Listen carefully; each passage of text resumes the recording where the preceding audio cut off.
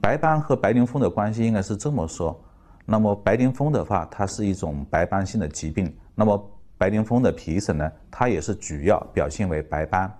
但是白斑反过来说，就是白斑它并不都是白癜风，因为它有其他的一些疾病也可以引起白斑。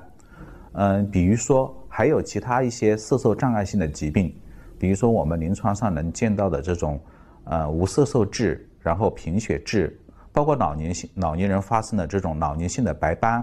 还有一些特发性的这种点状白斑，它也是一种色素障碍性的疾病，它也表现为白斑。还有就是一些遗传性的疾病也可能会引起，比如说我们讲嗯有白发病，啊包括一些其他的遗传遗传性疾病，它可能也会合并这种白斑，比如说结节性硬化，它也是有时候也会有这种瘤叶性的这种白斑的情况存在。还有就是一些肿瘤性的疾病。比如说我们临床上讲的驯养肉芽肿，它这个时候也会导致一些色素减退性的白斑的出现。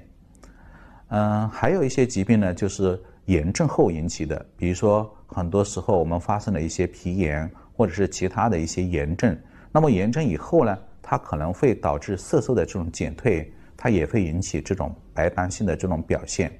所以，总之这种白斑的这种种类相对来说比较多。